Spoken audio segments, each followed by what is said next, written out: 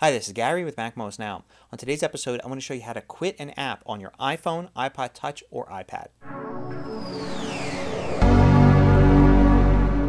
So every once in a while, you need to quit an app. Sometimes the app is misbehaving or it freezes up, or you just want to start it fresh, maybe to see an intro sequence again. So, in order to do that, there are two methods. The first method is to go back to the home screen, so the app is not the one running and then bring up the recents list by double tapping the home button. Then you can see that recents list there at the bottom. Scroll around until you find the app you want to quit and then tap and hold it and you'll see the little close button up here. Tap that and the app disappears from the recents list which also quits it. So the next time you run it it's like you're starting out for the first time after rebooting your device. The second method allows you to quit an app if it's currently running. The way you do this is you hold down the sleep wake button, which is the button at the top of your device.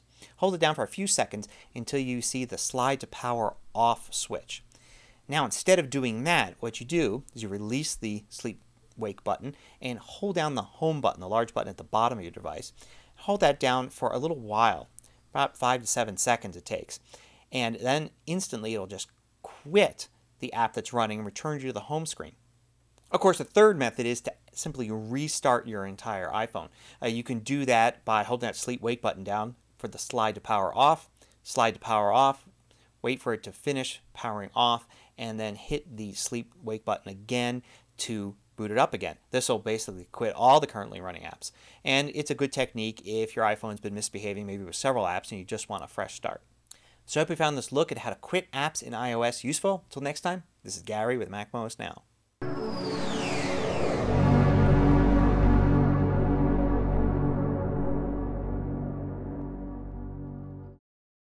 Want more video tutorials? Just go to MacMost.com, click on the videos link at the top of the page, and then you can view all of the hundreds of MacMost videos by category.